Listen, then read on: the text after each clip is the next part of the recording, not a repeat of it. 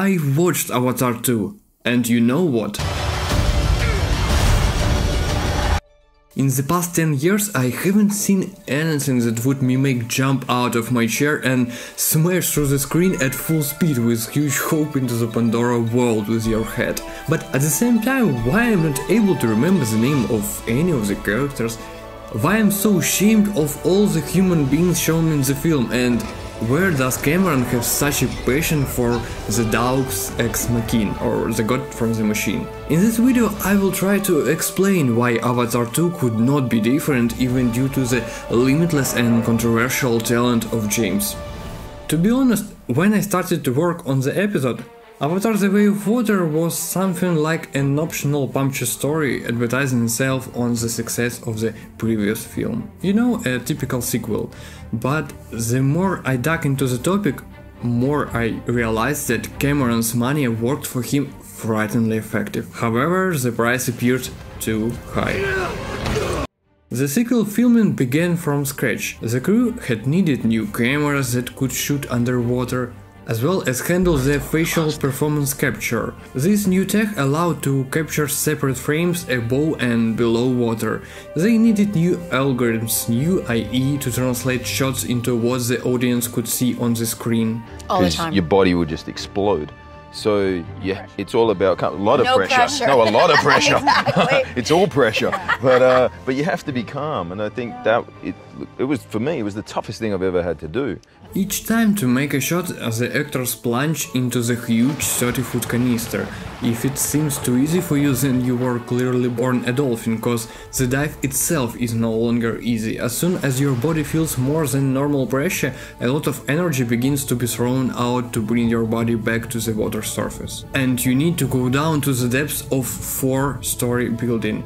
And that is, my friend, just a drop in the ocean. A complex interaction system was developed between visual effects specialists, actors, underwater filming crew, and the latest motion capture system, as well as artificial intelligence created specifically for the film.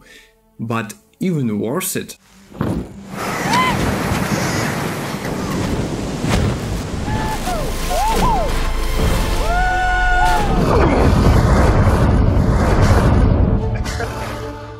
Avatar 2 gives this very feeling. Let me explain. As a child, I love to escape from reality.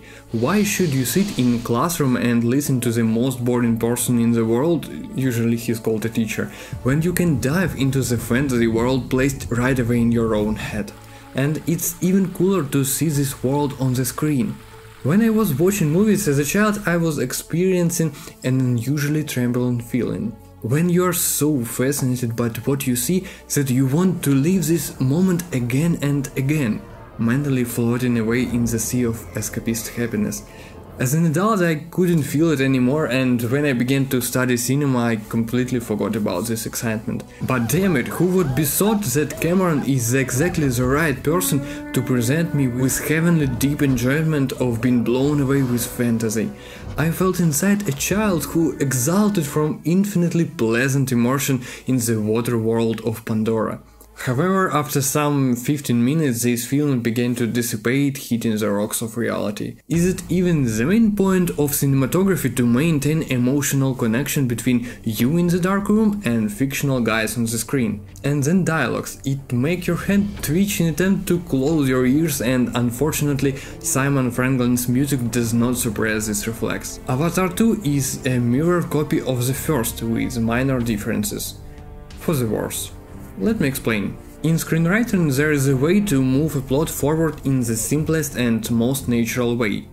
Suddenly. Suddenly is a classic method that hasn't failed writers for centuries. Suddenly a huge monohorny ball jumped out of Jake Sully. Suddenly Jake Sully is rescued by Neytiri. Suddenly Eywa's three seeds choose Jake. In the second film, Cameron added the word children to suddenly, and we got an exclusively new original story. Suddenly the children went into the forest and ran into the people. Suddenly a shark attacked children. Suddenly the children was captured. Teenagers go explore the world, pull the plot trigger and action scene starts. And so on until the end of the movie. In fact, there is nothing wrong with it. If the characters were completely and thoughtfully revealed, then it would be easier for me as a viewer to connect emotionally and empathize with heroes. But that didn't happen. There's the five kids in front of us on the screen. Good son, mischievous son, special girl, little girl, human boy. You will not remember their names, you will never know their characters outside of these brief descriptions. Let's take the eldest son. He doesn't have a lot of time in the story, but the plot implies he is going to be a significant character. And he's completely unexplored. There is a huge scene in the film when the main characters are just swimming in the ocean and admiring the underwater views. Yes, this scene that made me fall in love with this movie, but it does not trigger anything to reveal the plot, it doesn't reveal the main characters, it exists only for you to enjoy. Why not to take advantage of this time and show the characters without losing anything in time or resources? For example, let's take a sister of the protagonist, no, a smaller one. She's a little girl who grew up in the woods. Why wouldn't she like to weave flowers into her hair?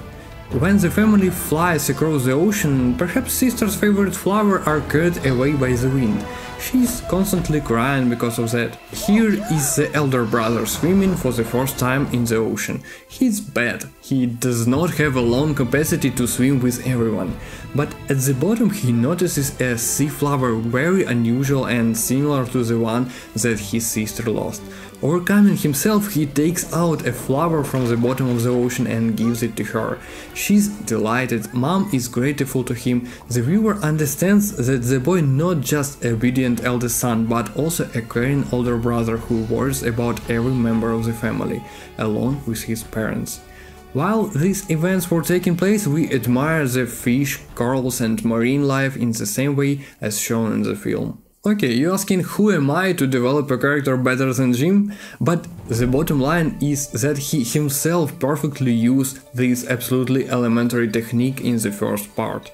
He managed to reveal the main character simply through the interaction with the environment. For example, where Jake is childish manners is playing with plants when animals suddenly attack him.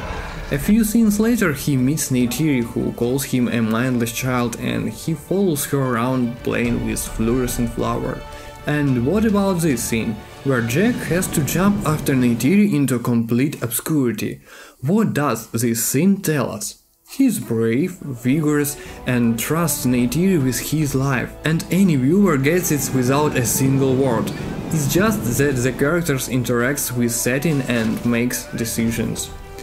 But there is more to come. Why are four screenwriters of the film that takes 30 years to develop and able to think a more interesting plot twist than a graphic kids and tie them with handcuffs? Okay, this is cliche that has been proven over the years, but why to repeat it three times per third act? The complication of the film boiled down to the same event. I watched this film in a hall filled with spectators, and you know what? The most vivid emotion laughter. I heard at the very moment when Jake's daughter Sally was handcuffed for the third time in a row. Cameron's appeals to the one of the most effective weaknesses, fear for the loved one, and unfortunately the plot development construct to give only this particular feeling each time. Each Cameron story is laced with themes that personally torment him. The uncontrolled development of technology, insatiable corporation, neocolonialism, extensive militarization, xenophobia, social inequality, and even true feminism. Over the past 10 years, James has devoted himself to a lot of very valuable scientific research. But why is he ready to give the remaining years of his life to the production of Avatar? Eventually, I realized okay, I can just be another drive-by do-gooder, or I can go make more Avatar movies and reach a much wider audience. He believes that the meanings he puts into the film will be able to resonate in the hearts of a huge number of people. Possibility of the Avatar universe reaching a lot of people with a persistent kind of emotional message and, and, and reaction on the part of the audience to maybe fight for and protect. And this business really deserves many years of hard work. Avatar's accessibility is the sacrifice that Jim pays by eschewing more complex dramatic construction, creative plot reveals, and the sudden twists, which are replaced here by overused God in the Machine. By the way, if you forgot what a plot twist, I recommend you to take a look at my video about work of George Martin, where I tell you how this technique works. Now back to Avatar. I'm so excited for our audiences to see because so many people, no matter how old you are, can connect to this film. Cameron literally opposes his films to the Marvel franchises achieving stunning results while not presiding on other people's concepts, hiring hundreds of specialists to achieving perfect compatibility with every audience on the planet, which in the release dozens of absolutely identical films, changing palettes on the covers. Many of the stories told by Cameron are already a cultural phenomenon, dispersed into quotes and memes, discussed and remembered by generation of viewers, at the same time, he still remains at the top and continues to invest huge budgets into the development of the industry and visual effects like no other. The new film is confirmation that Cameron is still able to create outstanding films in modern history that deserve attention and love.